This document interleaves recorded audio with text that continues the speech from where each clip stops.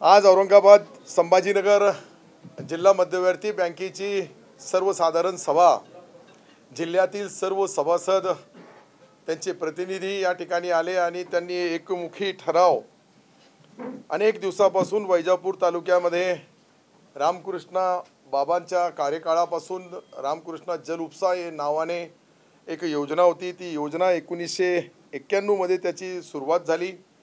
पंच्याण्णवपर्यंत ती चाललीही.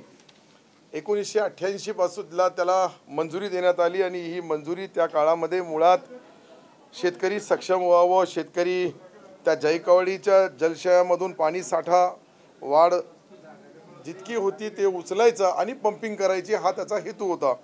परंतु अनेक काळ दुष्काळ असल्या कारणाने त्या परिक्षेत्रामध्ये पाऊस कमी पडल्याने ती योजना पाणी न झाल्या म- मिळाल्यामुळं काही ठिकाणी पाईपलाईन फुटली काही ठिकाणी तुटली आणि अशी अनेक अडचणीमधून त्या अठरा गावाच्या शेतकऱ्यांची आडीअडचण फार मोठी होती आणि ती आडीअडचण दूर करण्यासाठी एकवीसशे सतरा सभासद कर्ज घेणारे दोन हजार अठ्ठ्याहत्तर आणि या या योजनेमध्ये सोळाशे सोळा हजार एकर जमीन पाण्याखाली भिजणारा क्षेत्र अकरा हजार एकर होता.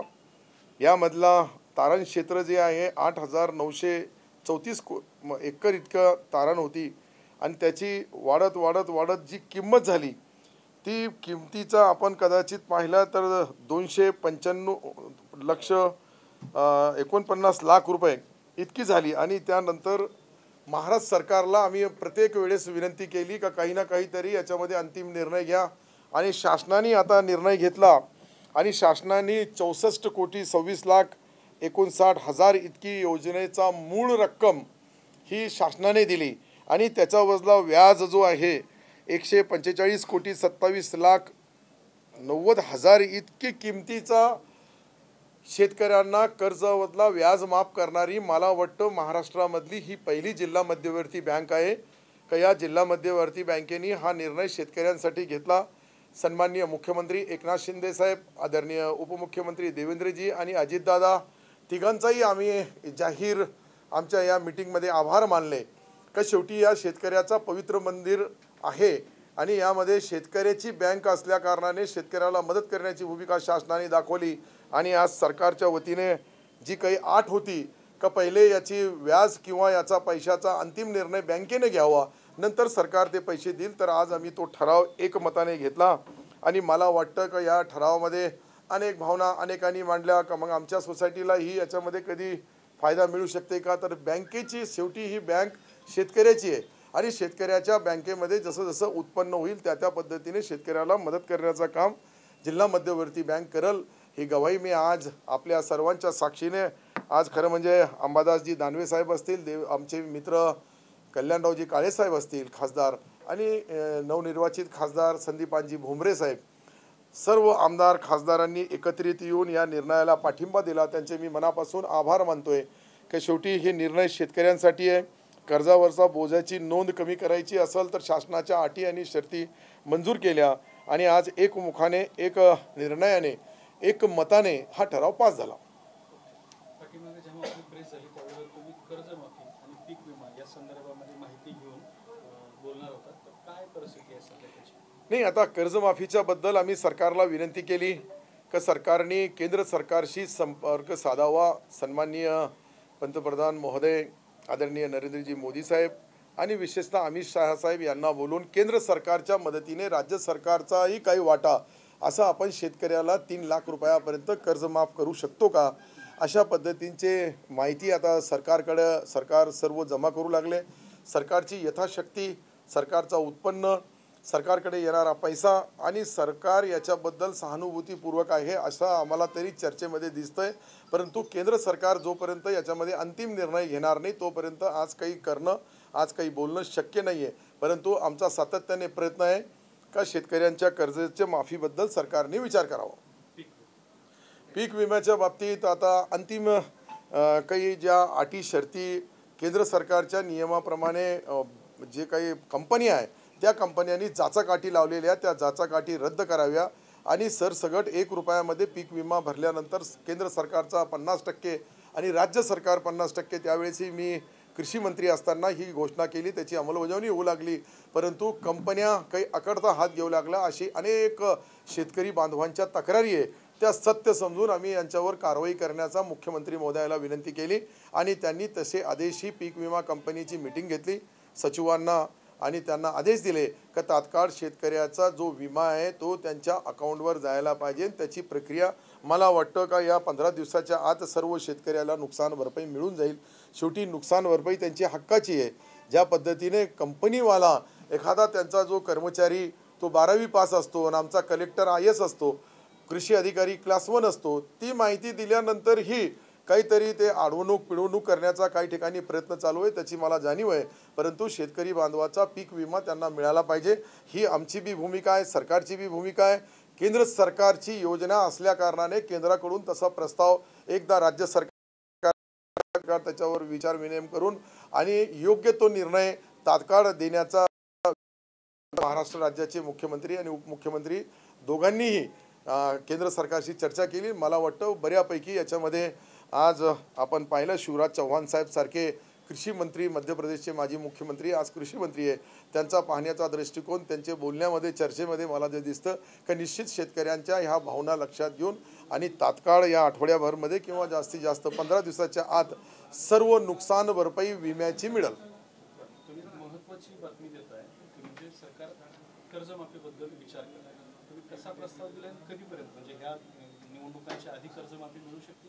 नाही आम्ही मागणी केली. शेवटी कसं आहे का मागणी करणं मी एक शेतकऱ्याचा लोकप्रतिनिधी म्हणून विशेषतः ग्रामीण भागाचा राजकारणी म्हणून माझी प्रमाणिक इच्छा आहे का शेतकऱ्याच्या कर्जमाफीच्या बद्दल सरकारने विचार करायला पाहिजे आणि सरकारने असा प्रस्ताव केंद्र सरकारला द्यायला पाहिजे.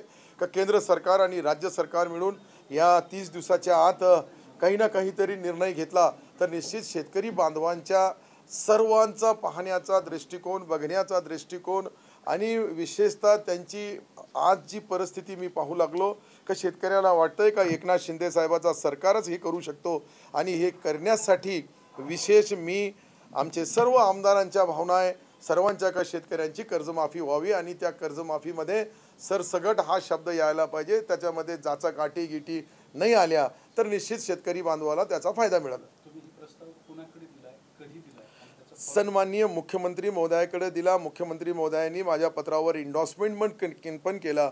आम्ही चर्चा शेवटी हे राज्याच्या तिजोरीवर किती भार येणार आहे? किती पैसे येणार आहे? एकंदरीत किती पैसे माफ केले तर राज्य सरकारचा किती वाटा राहील? केंद्र सरकारचा किती राहील? हे प्रपोजल मला वाटतं की या दहा दिवसामध्ये केंद्र सरकारकडे जाईल. आणि केंद्र सरकार निश्चित सहानुभूतीपूर्वक विचार करून शेतकरी बांधवांना यामध्ये न्याय देईल. मला असं वाटतं का होऊन जाईल. मला ही अपेक्षा नव्हती का हे जे मला वाटतं सदो सत्तावीस वर्ष सातत्याने आम्ही याच्यामध्ये प्रयत्न करत होतो. त्याला यश आला. या चौसष्ट कोटी सव्वीस लाख रुपये एकोणसाठ हजार जे शासनाने मंजूर केले हे याच्यावरून शेतकऱ्यांच्या बाबतीत तुम्ही पहा याच्या अगोदर बी अनेक सरकारं मी पाहिली आपणही पाहिली. परंतु शेतकऱ्याला मदत करणारा सरकार तुम्ही या दोन वर्षाचा कार्यकाळ कदाचित बघितला. तर मला वाटतं का एकनाथ शिंदे साहेबाच्या सरकारने जे दोन उपमुख्यमंत्री त्यांच्यासोबत आहे ते देवेंद्रजी आणि अजितदादा. अजितदादा नंतर आले परंतु देवेंद्रजी आणि एकनाथरावजी शिंदे साहेबांनी ज्या ज्या वेळेस अतिवृष्टी झाली सातत्याचा पाऊस झाला किंवा अवयडे पाऊस वेळेवर न पडणं मध्यंतरी मोठा खंड पडणं अशा अनेक बाबीचा विचार विनयम करून आणि सरकारच्या वतीने नियमावली तयार केली. आणि आता फक्त तीन दिवसात किंवा पाच दिवसाच्या आत आठवड्याभराच्या आत नुकसान भरपाईचे बी पैसे डायरेक्ट शेतकऱ्याच्या अकाउंटमध्ये कसं जाईल? याच्याबद्दल ही सॅटेलाईटप्रमाणे सर्वे करा का ऑनलाईन करा का ऑफलाईन करा. परंतु शेतकऱ्याला वेळेवर त्याची नुकसान भरपाई मिळाली तर त्याचा फायदा मिळतो असं आम्ही सरकारला विनंती केली. शेवटी सरकारकडं अनेक आता आम्ही तुम्ही पाहिलं असेल का लाडली बहीण ही जी योजना आणली पंचेचाळीस हजार कोटी रुपये सरकारच्यावर आर्थिक ओझं पडणार आहे. त्या पद्धतीने पंचवीस हजार कोटी रुपयाचा पहिला टप्प्याचा वर्षभर सहा महिन्याचे पैसे आपण पुरवणी मागण्यामध्ये ते मंजूर केले आणि ते पंचवीस हजार कोटीचा पहिला टप्पा मला वाटतं ऑगस्टच्या पहिल्या एक ऑगस्टमध्ये किंवा आजूबाजूला तो आमच्या सर्व बहिणीच्या अकाउंटवर पडेल. उपोषणाला बसावं लागतं आणि उपोषणाला पण जर हे सरकार नाही ऐकलं तर मी पुन्हा मुंबईला येणार असा त्यांनी इशारा दिला. तुमचं जरंगे पाटलाला एकंदरीत त्यांच्या भूमिकेबद्दल आणि सरकारला काय सांगाल? दोनशे अठ्ठ्याऐंशी पाडू. नाही ते त्यांच्या भावना त्यांनी व्यक्त केल्या. शेवटी तो आंदोलन करणं किंवा उपोषणाला बसणं तो त्यांचा अधिकार आहे. परंतु शेतकऱ्यांच्याबद्दल जे शेतकऱ्याची मुलं आहे त्याच्याबद्दल चिंतित हे सरकार आहे. सरसगट मराठा समाजांना जे काही सर्टिफिकेट पाहिजे सगळे सोयऱ्यांचा जी आर काढायला पाहिजे ह्या सर्व गोष्टीवर मला असं वाटतं की सन्माननीय मुख्यमंत्री उपमुख्यमंत्री गांभीर्याने लक्ष ठेवून आहे. आणि अनेक मिटिंगा आठवड्यातून दोन दोनदा तरी ही मिटिंग या मराठा समाजाच्या रिझर्वेशनाच्या बद्दल ओबीसी बांधवांच्या वेगळ्या मा मागण्या आहेत. ओबीसी बांधवांनाही त्यांच्या रिझर्वेशनला धक्का न लागता सरकारने मदत करावी अशा या दोन्ही असा पेच निर्माण झालेला आहे. का यावेळेस सरकारला सर्व ज्या ज्या गोष्टी करायच्या आहेत त्या गोष्टी एकाला न्याय देताना दुसऱ्यावर अन्याय होणार नाही. परंतु न्याय द्यायचा आहे दोघांनाही त्यामध्ये मराठा बांधवांच्या ज्या अपेक्षा आहे त्याबद्दल मुख्यमंत्री एकनाथ शिंदे साहेबांचा सहानुभूतीपूर्वक त्यांनी छत्रपती शिवाजी महाराजाचे चरण छून सर्वांच्या साक्षीने त्यांनी शपथ घेतलेली आहे म्हणून त्यांच्यावर माझा पूर्ण विश्वास आहे.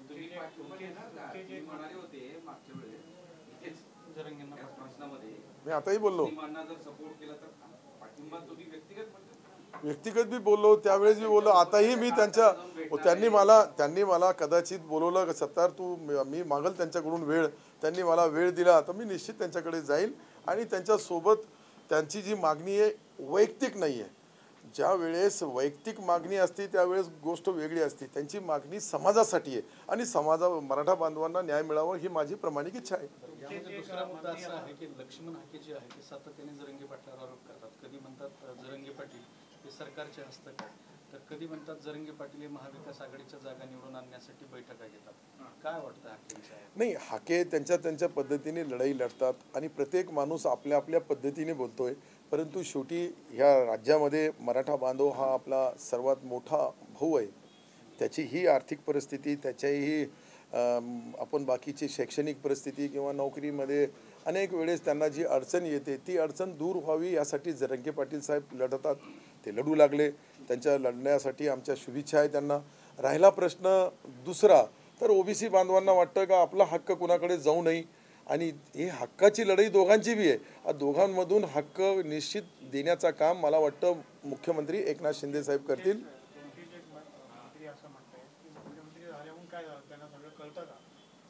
काय मी ज्या बोलतो नाही असेल आमचे बी मंत्री असेल किंवा नसेल ते मला त्याच्याबद्दल फार भाष्य करायचं नाही पण मुख्यमंत्री महोदयाला जे कळतं ते दुसऱ्याला कोणाला कळत नाही. इतका मोठा उठाव केल्यानंतर एक सामान्य शेतकऱ्याचा मुलगा या राज्यामध्ये आपला स्वतःच्या नावासहित गोरगरिबांचा विश्वास प्राप्त करतो याचा अर्थ त्यांना सर्व कळतं. आणि सर्व कळतं म्हणून तर अठरा अठरा पंधरा पंधरा तास ते काम करतात. परंतु त्यांच्या विरुद्ध जे काही बोलले ह्या लोकांनाच काही कळत नाही मला असं वाटतंय. म्हणजे कोणी असो मी काय बोललो एक मिनिट लक्षात घ्या. मुख्यमंत्री महोदयाच्या बद्दल कोणीही बोलत असाल का मुख्यमंत्र्याला कळत नाही तर तो प्रश्न मी कधीही आमच्यासारखा कार्यकर्ता खपून घेणार नाही. विशाळगडावरती मस्जिदीची तोडफोड झाली मुस्लिम धर्मियांचं पवित्र स्थळ होतं तिथल्या काही लोकांना मारलं तोडफोड झाली अतिक्रमण करण्याच्या नावामध्ये संभाजीराजांवरती गुन्हाही दाखल झालेला आहे. त्या जिल्ह्यात एकोणीस तारखेला त्याच्या विरोधात मोर्चा काढणार आहेत कोल्हापुरात. अल्पसंख्याक मंत्री म्हणून तुमची काय नाही मला असं वाटतं की सर्व धार्मिक ज्या धार्मिक स्थळं आहे ते जपून ठेवायला पाहिजे. हे जाती तीळ निर्माण होणार नाही त्याची दक्षता पुढाऱ्यांनी घ्यायला पाहिजे. ते राजे असो का इम्तियाज जलील साहेब असो या दोघांनाही माझी विनंती राहील का राज्यामध्ये कायदा सुव्यवस्था बिघडणार नाही याची दक्षता घ्यायला पाहिजे. शेवटी अल्पसंख्याक समाजाची मस्जिद पाडण्यामध्ये जे जे लोक चुकीच्या पद्धतीने ते काही केलं असेल त्यांच्या विरुद्ध कारवाई व्हायला पाहिजे. ती मागणी काही चुकीची नाही. एखाद्या मंदिरावर बी चुकीच्या पद्धतीने मंदिर पाडलं गेलं तर त्या ठिकाणी माझी भूमिका स्पष्ट मंदिराच्या बाजूने असते. इथे मस्जिदाची बाजूने आहे. आणि एखादा छोटे मोठे जे काही आमचे अल्पसंख्याक समाजाचे छोटे छोटे मंदिर आहे तेही सुरक्षित राहायला पाहिजे. शेवटी या देशामध्ये राहणारा राज्यामध्ये राहणारा सर्व जाती धर्माच्या माणसाचा तितकाच अधिकार आहे. या विशालगडमध्ये मुस्लिम बांधव जे जी मस्जिद आहे ते विशालगड हे त्यावेळेस त्या काळामध्ये ही सर्व जाती धर्माचे लोक त्या राज्यकर्त्याच्या सोबत होते त्या राजांच्या सोबत होते. आज याच्यामध्ये काहीतरी तीळ निर्माण करून छोटे मोठे ठीक आहे ज्या ठिकाणी येण्या जाण्याला अडथळा असेल काही साफसफाईला अडचण असेल काही ठिकाणच्या ज्या व्यवस्था करण्यासाठी अडचण असेल ते अडचणी दूर करायला पाहिजे. पण धार्मिक भावना दुखणार नाही याची दक्षता ते मला वाटतं राजे असेल का इम्तियाज जलील असेल दोघांनी घ्यायला पाहिजे अशी मला मी एक मंत्री म्हणून. नाही आता माझ्याकडे माझ्याकडे मी त्याची संपूर्ण माहिती आमच्या आयुक्तांना बोललो मी. आणि आमचे आयुक्त ते सर्व तपासून घेतील. शेवटी मायनॉरिटी आयुक्त जो आहे तो मायनॉरिटी आयुक्त त्याची पूर्ण तपासणी करल त्याची पूर्ण कागदपत्र तपासाल. आणि शेव हे जे अतिक्रमणामध्ये जे जे दोषी आहे त्यांच्यावर कारवाई व्हायला शेवटी मी पहिले बोललो मंदिर असेल मस्जिद असेल किंवा बौद्ध विहार असेल या सर्वांना संरक्षण देणं सरकारची जबाबदारी आहे. हे सर्वांना सुरक्षित ठेवणं ही सरकारची जबाबदारी आहे. आणि अशा गोष्टी अशा काळामध्ये करणं हे राजकारण करणाऱ्या लोकांना राजकारण करू नये. त्यामध्ये ज्या मस्जिदीमध्ये नुकसान झालेलं आहे त्याची सर्व मला असं वाटतं का चौकशी करण्यासाठी आमचा विभाग आणि आमच्या विभागाचे वक्फ बोर्डाचे अधिकारीही जातील तिथे वक्फ बोर्डाची सीओही जातील आणि आयुक्तही जातील. आणि सर्व कागदपत्र तपासून ही जी परिस्थिती निर्माण झाली मी तुमच्यासमोर ती सर्व ठेवेल तर एक महांत आहेत त्यांनी काल उद्धव ठाकरेंबद्दल स्टेटमेंट केलं की त्यांचं मुख्यमंत्रीपद गेलं बंडखोरीचा त्यांना फटका बसला ते जोपर्यंत मुख्यमंत्री होणार नाही तोपर्यंत जखम बरी होणार नाही असं वगैरे त्यांनी स्टेटमेंट केलेलं. काय वाटतं त्या महंताची जख महंतांची त्यांची जखम पाहिली का जाऊन? जखम पाहिली असेल तर निश्चित जखम कोणाची दुरुस्त व्हायला पाहिजे. शेवटी जखम आहे जखमसाठी डॉक्टर असतो. जखमसाठी मला वाटतं का त्या महंतांचा साधू संतांचा मी सन्मान करतोय. परंतु जखम झाली तर टाके द्यायला पाहिजे आणि ते टाके त्यांच्याकडे असेल तर द्या. नाही खरं नाही टाके आता जखम झाली तर टाकेच द्यावं लागतं. मला एकदा जखम झाली होती तर मी टाके घेतले तुम्ही पाहिलं. तुम्हाला टी व्हीवर बी दाखवलं होतं हे पण टाके. असे टाके जखमची काल प्रकाश आंबेडकर असं म्हणाले की विशालगडावर जो राडा झाला ते व्हिडिओ गुरुजींच्या सैनिकांनी केलाय आणि त्याच्यावर त्याची चौकशी सरकार होता नाही हे पहा मी पहिलेच बोललो का ज्या पद्धतीने ते झालेलं दुर्दैवी घटना आहे त्या घटनेची चौकशी निश्चित सरकार करेल आणि सरकार याच्यामध्ये जे जे दोषी असतील त्यांच्यावर कारवाई करेल? प्रकाश आंबेडकर अं, आता पाच चार वाजता बिग अनाउन्समेंट करणार. मोठी घोषणा म्हणतात ते. काय माहिती? काहीतरी मोठी घोषणा त्यांनी करणार. आज आहे. रिलीज केला आणि काय ट्विटरमध्ये असं बिग अनाउन्समेंट मोठी घोषणा. अनाउन्समेंट करेल. मोठी घोषणा करणार. काही आहे. तुम्हाला बरं, कळलं जाऊ द्यात. काय सोबत येणार आहे? माझा काय संबंध आहे? का मला तुम्ही का जोडू लागले? हा मी काल मी मी मी काल गेस्ट हाऊसवर गेलो म्हणून तुम्हाला शंका झाली असेल. माझी कोणतीही हालचाल मी स्पष्ट शब्दामध्ये बोललो आताही बोलू लागलो. मी काल दोन दिवस अगोदर पंढरपूरला गेलो तिथेही हेच बोललो का मी एकनाथ शिंदे साहेबाचा कार्यकर्ता आहे. एकनाथ शिंदे साहेबाचा माझ्यावर जोपर्यंत विश्वास आहे तोपर्यंत मी कोणत्याही पक्षाचा विचार करणार नाही. काय काय? तो विश्वास कधीपर्यंत राहील त्यांचा. त्यांनी सांगितल्यापर्यंत आता मी त्यांच्या नावाने सांगितलं तुम्ही त्यांना विचारून घ्या? हे पहा ढासळलं असतं तर मी आतापर्यंत तुम्हाला ती ब्रेकिंग न्यूज दिली असती. जी तुम्हाला पाहिजे. त्यांचा विश्वास पूर्ण आहे. ते माझे नेते आहेत.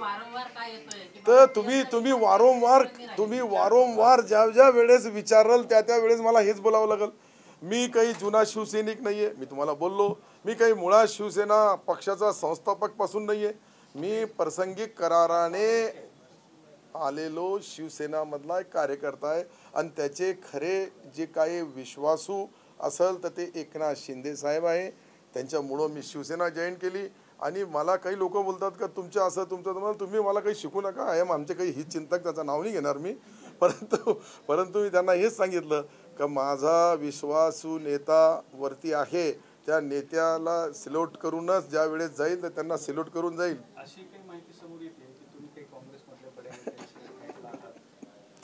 साहेब तुम्ही ऐका मी पंचवीस वर्ष काँग्रेसमध्ये होतो. तर अनेक बड्या नेत्यांचा माझा असं असं आदाब सलाम राम राम जय भीम जुना आहे. म्हणजे जय भीमपर्यंत आहे वरचे बी आहे आमचे ते त्यांच्यापर्यंत माझा आहे. अरे शिवसेना साहेबा शिवसेना पक्षाचा मी मंत्री आहे. आणि एकनाथ शिंदे साहेब आमचे प्रमुख नेते आहेत. ते जे निशाणी मला देतील त्या निशाणीवर लढल. मला निवडून येण्याचं तर मी पहिलेच बोललो त्यांनीच बोलले सभेमध्ये. तुम्हाला ते माहीत आहे सर्व तर त्याच्यामध्ये काही आपल्याला निवडून येणं हा मी लोकल कार्यकर्ता आहे. आणि हात जोडून सर्वाच्या सोबत राहतो आणि मला निश्चित विश्वास आहे का माझ्या तालुक्याची जनता माझ्या पाठीशी आहे. दुसरा प्रश्न राज्यामध्ये काही लोक दुसरी आघाडी तयार करण्याचा प्रयत्न करत आहेत ज्यात Prakash Ambedkar M I M T R S काही शेतकरी संघटना असे एक वेगळा पर्याय देण्याचा प्रयत्न आहे महायुती आणि महाआघाडी नाही याच्या अगोदर बी अनेक प्रयत्न झाले. तिसरी आघाडी झाली चौथी आघाडी ही एकदा मला असं वाटतंय का या- त्याच्यामध्ये प्रकाशजीबी होते. त्यावेळी चार आघाड्या झाल्या होत्या. परंतु या सर्व आघाड्याचा परिणाममध्ये मला तर असं वाटतंय का लाडली बहीण ज्या पद्धतीने मध्य प्रदेशमध्ये याचा उपयोग झाला आणि तो सरसगट विजयाच्या रूपाने विधानसभा आणि लोकसभेपर्यंत आजही त्या बहिणी विसरू शकल्याने मला असं वाटतंय का ह्या जी लाडली बहीण हा जो नवीन कन्सेप्ट आलेला आहे तो येणाऱ्या एक तारखेला पहिला हप्ता अकाउंटवर पडल आणि अकाउंटवर मी पहिलेच बोललो खटाखट पडला का त्याचे परिणाम तुम्हाला ऑटोमॅटिक विधानसभेच्या निवडणुकीमध्ये एकनाथ शिंदे साहेबाच्या नेतृत्वामध्ये सरकार निवडून येईल आणि पुन्हा पुन्हा एकनाथ शिंदे साहेब मुख्यमंत्री होतील. याच्यामध्ये कुठेही तीड मात्र शंका नाही. करेक्ट कारण की बहिणीमध्ये जी शक्ती आहे बहिणी या शब्दामध्ये राखीच्या एक बांधलेल्या धाग्यामध्ये किती ताकद आहे किती शक्ती आहे याचा अंदाजा तर ते मध्य प्रदेशमधल्या बहिणीने लावला आता महाराष्ट्राच्या बहिणी लावतील. महाराष्ट्र सरकारने त्याचा अभ्यास केलेला नाही वाटतं नीट कारण काय की नुसतं ते ऍप आलं त्याच्यामध्ये अपलोड होत नाही सगळ्या अडचणी आहेत. आणि पोर्टल पण नाही कशाचं मला काही वाटत नाही काहीच नाही. आता आम्ही सरळ केला आमदार त्याचे अध्यक्ष राहतील आणि आमदार आलेले प्रस्तावाला मंजुरी देतील. आणि अकाउंटवर पैसे तुम्हाला त्याच्या अकाउंटवर दिसतील. मी आता बँकेमध्येही बोललो का लाडली बहीण या योजनेच्या नावाने ज्या ज्या महिला जिल्हा मध्यवर्ती बँकेमध्ये अकाउंट उघडायला जातील त्यांना फ्री ऑफ चार्ज एक रुपयाही न करता झिरो बजेटमध्ये त्यांना ते देण्याचा अकाउंट उघडण्यासाठी आदेश देण्यात आलेले आहे फक्त त्यांना एक आठ राहील का शंभर रुपये तरी त्यांच्या अकाउंटवर त्यांनी टाकावं. म्हणजे अकाउंट चेक झाला का नाही ज्या वेळेस हप्ता त्यांच्याकडे पडेल त्यावेळेस शंभर रुपये त्यांच्या अकाउंटवर त्यांनी ठेवावं.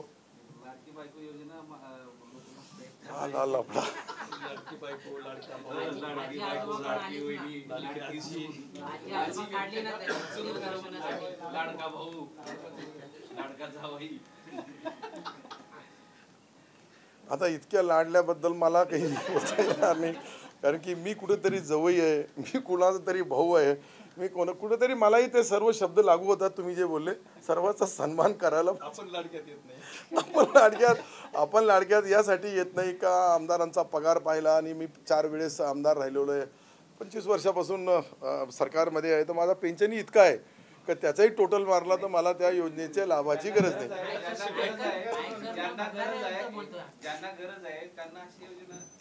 आता ते अकाउंट मार आता अकाउंट मारू लागले ज्यांना आहे ते किती वेळेस खासदार होते किती वेळेस आमदार होते आणि आता किती बनेल त्याचा ते बांधून घेतात जे जे पडले आता. आता एक गंभीर प्रश्न आहे. अजित पवार जे तुमच्या महाआघाडीमध्ये आहेत. हां. तर बहुतांशी लोक म्हणतात की अजित पवारांनी अं, महायुतीतून बाहेर पडावं आणि स्वतंत्र लढावं. तर त्याचा काही फायदा होईल महायुतीला का कसं? कारण अजित पवारांचा मागच्या election- याच्याबद्दल तर तुम्ही एकनाथ शिंदे साहेबालाच विचारलं पाहिजे.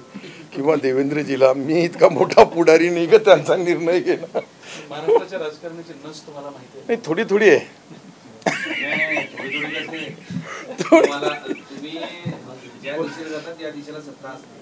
हा याच्यामध्ये कुठे शंका नाही. हे दोन दरवाजापैकी कुठल्या दरवाजा जायचं? या दरवाजा चालले की समजायची गेली सत्ता आहे? नाही आता तुम्ही माझ्यासाठी प्रश्न विचारू लागले का सत्तामध्ये सत्तार जाणार. तर मी आता एकनाथ शिंदे साहेबासोबत आहे आणि एकनाथ शिंदे साहेबच मुख्यमंत्री होणार आणि त्यांच्या सत्तेमध्ये मी कॅबिनेट मंत्री फक्त खाता चेंज होईल. बाकी बाकी मंत्री तो पक्का.